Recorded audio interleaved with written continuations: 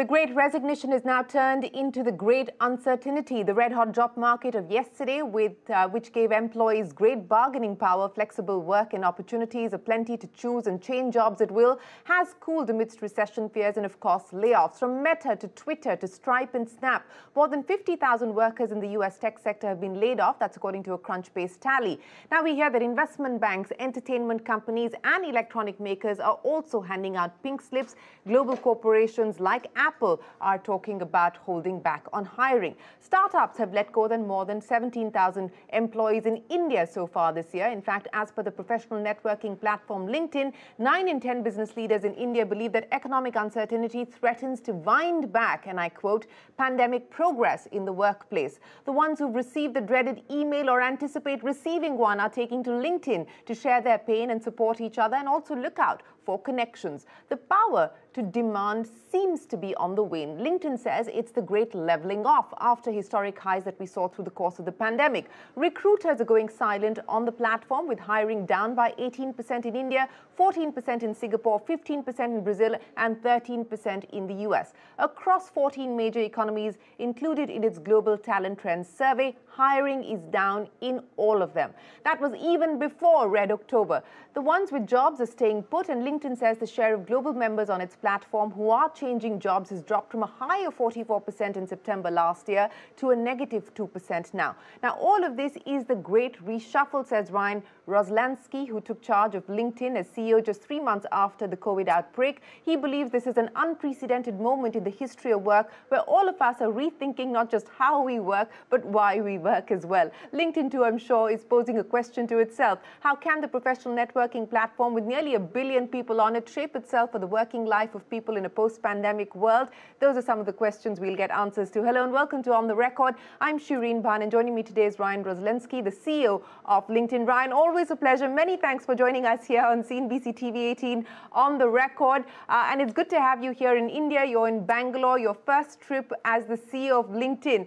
Uh, but I want to start by uh, getting a sense of you on what business confidence at this point in time looks like. It's shaken globally and it's shaken here in India as well. The war for talent clearly seems to be over. How much more pain do you anticipate on the back of what you're seeing happen on the platform? Uh, we just sort of read out a few highlights of your survey. How much more pain do you anticipate in the job market? Hi, Shereen. First of all, it's wonderful to be here. I'm here in our Bangalore office uh, for LinkedIn, my first trip to India as the CEO.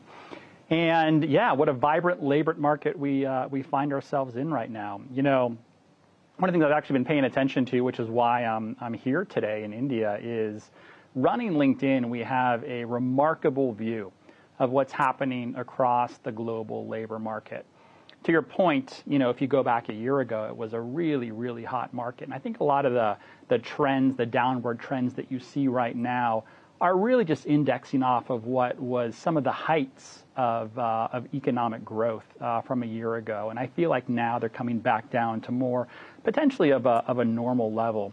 But one of the things I've been paying a lot of attention to, um, you know, kind of from that global purview, is that as it relates to a lot of the activity that's happening right now in India on LinkedIn is just fascinating. So India, our membership in India is over-indexing on networking. They're over-indexing on skills acquired and learning. They're over-indexing on job seeking. In fact, India right now is the second largest market in terms of engagement on LinkedIn. We have roughly 97 million members. And I've only been on the ground now for a couple hours here uh, in Bangalore, meeting with our amazing employees and some customers. And, you know, what I can feel like right now is though we may be in a bit of a lull. Where India sits in the next 10 years feel like it's really being decided right now. And this doesn't feel like a country which is just trying to create a playbook or figure out what to do, but a country that's actually really executing on a new path to economic growth. So I'm really excited to be here and just learn more in person. You know, that's, uh, that's good to hear, uh, Ryan. But what does that mean that in terms of uh, uh, LinkedIn's plans for India? You have a fairly large presence in Bangalore. Uh, are you planning to expand? Is this the right time for you to be able to do that, given the fact that India is strategically an important market for you? So what can we expect from LinkedIn for India specifically? Yeah, you know, we, we're on a, uh, a fiscal year calendar as a company, which means that we just ended our fiscal year as a company. We did a little bit north of $14 billion a year in revenue globally. That's growing about 17% year over year.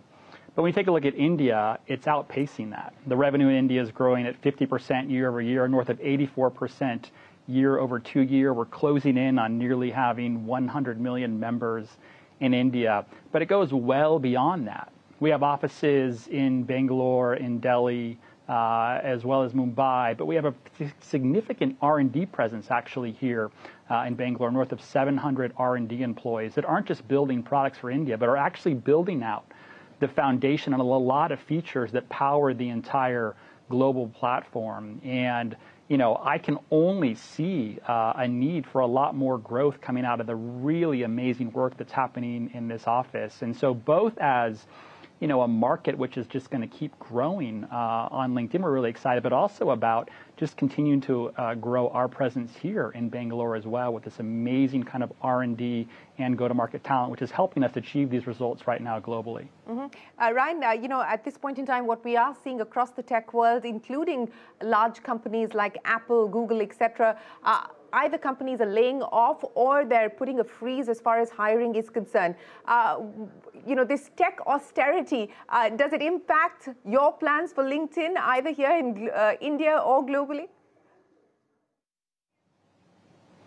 Yeah, I mean, if you take a look over the past, you know, two, two and a half years, it's been a remarkable set of challenges to navigate through for any company, for any leader. You know, at first when COVID happened, it was unclear what was happening and a lot of companies pulled back. Then because a lot of things moved digitally native, you saw this huge influx of demand in these tech companies. I think rightfully so, they would scale up because of that. Right now, again, you're seeing a bit uh, of a pullback. This is all about leaders that are trying to really manage through and navigate these, you know, really unprecedented cycles across the board. Uh, as it relates to LinkedIn itself, you know, I'm really excited that when companies do decide that they're laying people off, that employees can turn to LinkedIn to find their next opportunity. They can leverage their network. They can search for jobs. They can upskill themselves uh, on something new. So it's really great to see that. I think through all of this, though, you know, for CEOs and leaders across the board that are navigating through a lot of these uncertain times, it's all about just ensuring you have the right leadership mentality you're an adaptive leader through a time like this. I think leaders can either be adaptive or reactive, but I, I think it's really important when there's this uncertainty that continues throughout the world to really maintain an adaptive uh, leadership position. I think adaptive leaders always play up. You know, when something bad or new or unique happens in the world, you have one of two choices to make. You can play up or you can play down. A lot of people play down. They play down to fear or the lowest common denominator. But I think the leaders that can really start to play up right now are the ones that are going to see the biggest gains. I think adaptive leaders also look at these opportunities, these changes in the market, as real opportunities for growth, as opposed to maybe a tax or a burden that's being placed upon them. And I think last, adaptive leaders are constantly pivoting. I think that's what you're seeing a lot of these companies do right now. It's really important to keep moving and keep pivoting to make sure that you're changing your strategy to adapt for what needs to happen across the board. So I think that as long as, you know, at LinkedIn we have principles around our talent strategy, our strategies are always moving around. We have no plans. Uh, we haven't announced anything um, as it relates to uh, any kind of layoff or, you know, kind of across the board for our company we do, we have put ourselves inside of a, a, hiring freeze right now for various parts of the company. But again, like every other leader, we're just continuing to navigate the global strategy that we need to keep the company going to create this platform that so many people are finding value off of right now. Uh, yeah, so no plans to lay off people, but a hiring freeze across various parts of the country. But Ryan, let's talk about uh, the shifts in strategy that you spoke of and several pivots that we saw corporations having to make through the course of the pandemic. Work from home was a necessity, and now as this great normalization takes place, the question is, uh, is that model uh, going to last? What shape will it take? I mean, you know, Elon Musk has made it clear come back to work or find yourself another job. Do you see that becoming more of a trend uh, as we move forward? Companies saying come back to work. You know, some flexibility is okay, but work from home is no longer okay. Yeah, you know, it's funny. We spend uh, a lot of time, at least at LinkedIn, talking about the foundation upon which we build our company, which is our culture and values. And I think that this great period of, you call it a great resignation, a great reshuffle over the past couple of years has really been about this idea that every company, every leader is trying to figure out something new, which is how does our company work moving forward? Are we remote? Are we hybrid? Can people stay home? Do they need to come in certain days a week, etc.? And in fact, what these companies are doing is they're rethinking their culture and values. The culture and values is how the company works. For us, culture is, you know, who we are as a as a company. It's our it's the personality of who we are. It's also who we aspire to be. And all these things get kind of pulled together when you talk about well, how does the company work moving forward? It's funny. I was in London last month with Microsoft CEO Satya Nadella. And we were looking at some recent data uh, that Microsoft had published, which showed on one hand, 87% of employees believe that they're being productive remotely. On the flip side, 85% of managers believe their remote employees are not being productive. It's something that Satya called productivity uh, paranoia, which is you know kind of this paradox of what's of what's happening in the market. I think what's you know what's really going on and what we're seeing play out right now is if you're a manager, you used to do a lot of your job by walking around the office, seeing if someone was there, if they were in the office. That's how you knew if they were being productive, if they were getting something done. Today, in more of a hybrid world, it takes a different management skill set. It's not about just whether or not someone's showing up, but it, you need to change your mindset. And I think that mindset is all about whether or not someone is being productive you focus on the output, not just whether or not someone is in the office. I think some companies are going to figure that out, some are not, but every company is going to make this decision for themselves, which is going to then attract that same set of employees uh, that care about that type of culture and values uh, into that company. So I think that what's really happening is look, two and a half, three years ago, every company kind of worked the same way, and that's kind of how the world worked. Moving forward, every company is going to work different, and that's okay because that's where the talent is going to get attracted to. And companies that can attract talent with the way that they work and be successful are going to be great. If you can't attract talent or can't be successful in the way you work, you're going to be forced to adapt, which goes back to that adaptive leadership concept I was talking about a few minutes ago. You know, Ryan, I, I want to pick up on what you just uh, talked about the productivity paranoia and link that back to what we're seeing happen in the job market today, where the war for talent has waned and, uh, you know, the bargaining power is back with the employer and not the employee, which is what we saw through the course of the pandemic. Uh, uh you know, linking it back to what you just said about the fact that managers need to reimagine the way that they measure, uh, you know, outcomes in the workplace. Is it going to then be easier to revert back to the old style of doing things, uh, given the fact that people are already questioning productivity and outcome. Uh, and today, uh, you know, employers will probably say, look, I can, I can get people to do what I like, as opposed to employees saying that we could have gotten employers to do what we like. Yeah, I think it's yet to be seen. You know, one of the most fascinating stats that I pay attention to across LinkedIn is that there's roughly 14 or 15 million jobs uh, posted globally at any given time. Pre pandemic, that number was uh, roughly 1% of all jobs posted on LinkedIn were remote jobs. Uh, roughly, you know, six months ago, that number was 19%. 19% of all jobs posted on LinkedIn were remote jobs. Today, that number has come back down and is leveling out around 15%. So let's assume about 15% of all jobs listed on LinkedIn are remote jobs. Now, what's fascinating is that 50% of all job applications are to that 15% of remote jobs. So there's still this demand in job seekers and employees who are really seeking out remote work. I think that companies that can figure out how to navigate and manage effectively with the hybrid workforce are most likely those that are going to be effective. And this is really important to understand that, again, it's not a one size fits all. Certain companies, maybe you manufacture a good, like you have to be in office. You know, if you're a healthcare company, if you're a hospital, you have to be physically there.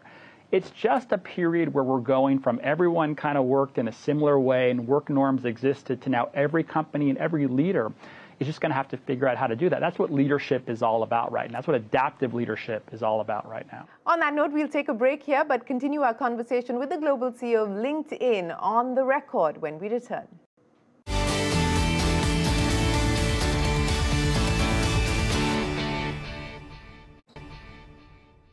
Welcome back. You're watching On the Record. We're in conversation with the global CEO of LinkedIn.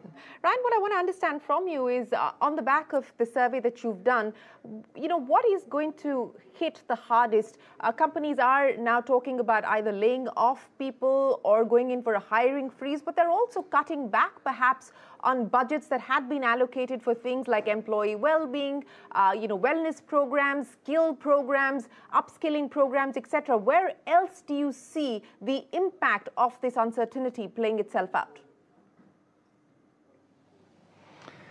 You know, on one hand, I think we're going to see companies hiring less uh, externally, and we'll see that through a period of time. But what that does uh, is is really puts much more of an emphasis on ensuring that the employees that are working inside of your company are working on the right things. I've been focused a lot on ensuring that through our platform and even globally across the labor market, that we start to move the currency that matters for efficient labor markets, even inside of a company, to a skills based approach. What the actual job entails to do and what someone actually needs to know in order to be effective at that job. We used to, you know, really just judge talent based on someone's degree or where they used to work or who they knew. But right now, with the market moving so fast and roles being created or replaced at such an unprecedented rate, I think this focus on skills in order to ensure that your company is working effectively is going to be the key. I said last week that, you know, in a lot of cases, your best next employee is probably going to be your current employee. But you can get there to figure that understanding by really focusing on a skills based approach. So I think that companies that embrace this right now are going to find a lot of success moving forward in terms of ensuring their companies uh, and their employees are working on the right things to ensure productivity and successful strategies moving forward. Uh, Ryan, uh, you know, what does all of this mean in terms of wages? Through the pandemic, we saw, on account of the war for talent, wage inflation. I mean, every company that we spoke to, and tech companies in particular, spoke about the impact on margins because they just had to hike salaries significantly to either retain or draw in fresh talent. Uh, given the uncertainty that we're seeing, as well as the, the trends in the job market, uh, how much do you expect wage inflation to cool off? I think this is another thing that is going to vary on a company by company basis, an industry by industry basis. Uh, but again, I think that over time, we can find a lot of efficiency, we can find a lot of equity across the labor market, both globally and inside companies, with more of a skills based approach where the currency that really matters in understanding where we should be investing more heavily is really based on the skills that are required to make the company more successful. Right now in India, for example, that's a lot of technical skills. We know the most in demand skills across India, the top five skills are all technical in nature. And, you know, I start to see, and I think we're going to keep seeing, a lot more people focusing on those technical skills as the path to opportunity and thus the path to companies being able to understand what they can afford and will they be paying moving forward. Um, Ryan, uh, what about gender parity as well as opportunities opening up for women uh, here in India as well as globally, given the changes that we are seeing and also given the demand for technical skills, as you pointed out? And, and there again, uh, you know, uh, in many ways, the gap perhaps is being widened because women are not necessarily getting the training that they require for jobs of the future. That's something that the World Economic Forum has cautioned about. Uh, what are you seeing uh, on, uh, on those uh, trends that the survey is picking up? Yeah, and a lot of that data the World Economic Forum is using, um, you know, it, it, comes from the LinkedIn platform that we that we helped understand and provide. But Look, I think I think what you're saying is spot on. What if you have all of the aptitude? What if you have all of the talent? What if you have all the skills that are necessary, but maybe you didn't grow up in a high income neighborhood or didn't go to the right school or don't know the right people? Uh, there absolutely exists this you know, this difference or where people are starting from. And we really care across the LinkedIn platform to try and create an equitable labor market uh, as much as possible. We do that through our products uh, by allowing people to self ID uh, in terms of who they are.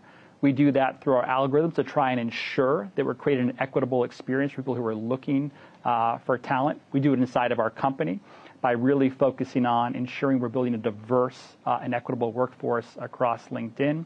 We do it on our platform through a concept called the Plus One Pledge, where you know we ask everyone just to try and help someone else out, someone else that maybe didn't have the opportunities that they would have to find that opportunity just by making one connection with someone else, maybe opening a door for someone towards that connection to turn you know, uh, you know, a potentially, you know, bad situation into an amazing situation that someone, for someone who didn't really have access to those opportunities. So, you know, I think the data exists. We're going to help, you know, keep providing what we see uh, across the platform, but we really want to focus on the power of LinkedIn and what we can do and what we can build through access to skills, through access to, you know, equity to create the most equitable labor force we can globally.